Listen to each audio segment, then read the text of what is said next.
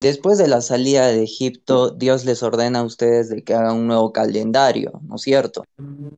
Algo así, ok. Eh, desde esa fecha eh, parte eh, su calendario, 5.873 años, ¿no es cierto? ¿O estoy equivocado? Eh, no es tan así, Porque, como tú sabes, si ustedes están llevando ese calendario, entonces no falta poco para la llegada de Mashiach. O sea, bueno, mm, el profeta Elías, ¿no? Donde va a coronar o va a presentar, presentar al, Mash- al Mashiach.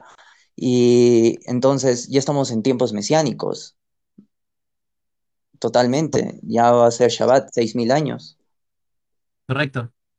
Wow, me, alegra que tienes muy sólida mucha de la terminología.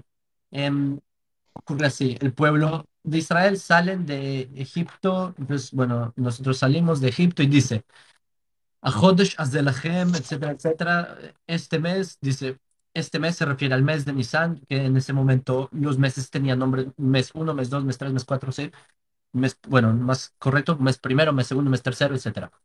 Y dice que en este mes primero eh, es cuando se nos da la orden de sa- santificar el mes, que significa que el pueblo de Israel, en base a las fases del cielo, escogemos nuestro calendario. O sea, nosotros somos los que regimos nuestro calendario. Esa es la primera libertad que nos dio, nos dio Dios.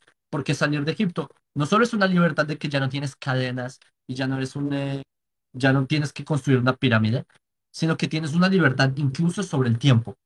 Es como el mensaje principal acá. Ahora, el, en cuanto al conteo de los años, ese es un conteo que se hizo en la época de los Geonim. Eso es por la Edad Media, que hicieron un conteo de eh, de forma regresiva en base a las cronologías y genealogías del Tanaj. Es decir, que si el templo había sido destruido hace 600 años y como que hicieron una cuenta regresiva, si me entiendes, en base a genealogías y llegaron a la fecha que según los años de las personas mencionadas en el Tanaj, se llegó a ese número, a, ese milenio. Entonces, básicamente, y con respecto a tu última afirmación, correcto, la redención ya empezó desde el 14 de mayo de 1948, que es la creación del Estado de Israel, o más bien el renacimiento del pueblo judío en la tierra de la Biblia, es decir, el pueblo de la Biblia vuelve a la tierra de la Biblia, en ese momento comienza la redención. Entonces, eh, tienes razón en que el sexto milenio, que es algo que se menciona en Tratado de Sanedrín, lo menciona Kabbalah, que es el, milenio en el que se transforma el mundo totalmente, que es este, que ya lo estamos viendo, de hecho.